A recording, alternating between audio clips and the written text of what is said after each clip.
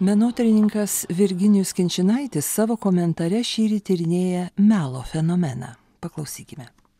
Žiniasklaida ir visuomenė, komentatoriai ir diskusijų klubai nuolat demaskuoja politikų melą. Visuomenė jaučiasi apgauta po rinkimų, įtari prieš juos. Kultūros darbuotojai marširuoja protesto akcijose, mokytojai grasina streikais, visi apgauti reikalauja teisingumo. Būsimi kandidatai prezidentus iš anksto apkaltinami naudojantis klaidinančios retorikos ginklus. Valstiečiai paskendė apgaulėje.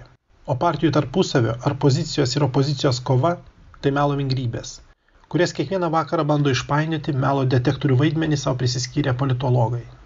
Kultūrininkai tik dabar atsitokie nuo priešrinkiminių Ramūno Karbauskio pažadų pavirsti Lietuvą pasaulinė menkų meka. Vietinius ir atvykusius menkus valstiečių lyderis prisiekinėjo atleisti nuo visų įmanomų mokesčių. Kokia elektros srovė turi būti trenkti smegenis, kad patikėtų tokią nesąmonę? O juk patikėjo. Kita vertus, neieškokime priežasties labai toli. Atsigręžkime ir patirinėkime kaltintojus politikų melu. Gal politikų melas kyla iš pačios visuomenės? Statistiškai mes patys meluojame šešis kartus per dieną. Melas yra sudėtinė kalbos meno dalis. Kalba ir melas tobulėja sinchroniškai. Kuo geresnė kalba, tuo didesni melagiai esame. Gebėjimas meluoti yra neatskiriama mūsų proto savybė, nes melas ir smegenys vystosi kartu.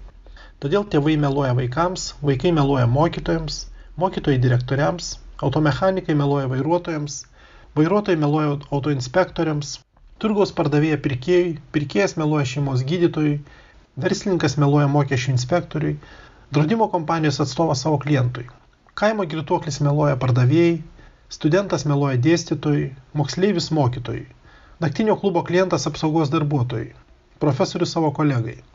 Reklama meluoja pirkėjai, darželio auklėtojo tėvams, valgyklos vyrėja kontrolieriams, rašytojas leidėjai, žurnalistas meluoja skaitytojai, kunigas parapiečiams, nuotaka jaunajam, o šis nuotokos tėvams.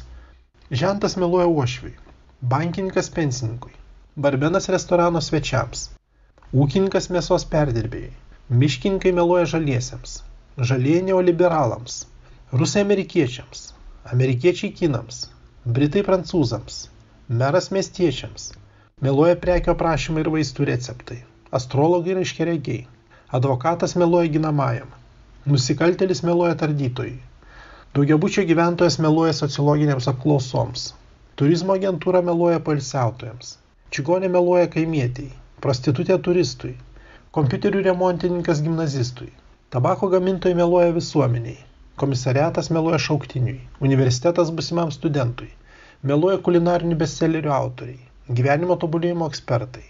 Labiausiai meluoja sveiko ekologiško maisto pardavėjai, natūralios kosmetikos ekspertai, vaistinių pardavėjai ir būtų tarnybos. Meluoja jau trečiamečiai ir žinoma nusikaltėliai. Teatrališkai meluojama teismo salėse.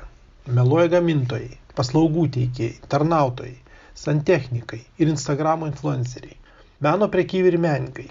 Ypatingai meluoja nekilnojamo turto agentai.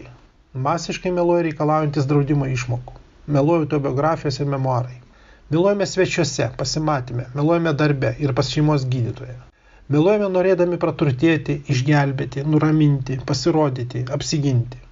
Marko Tvengno žodžiais tariant, visi meluoja kiekvieną dieną, valandą, miegodami, sapnuodami, budraudami, meluoja džiaugdamėsi ir liūdėdami.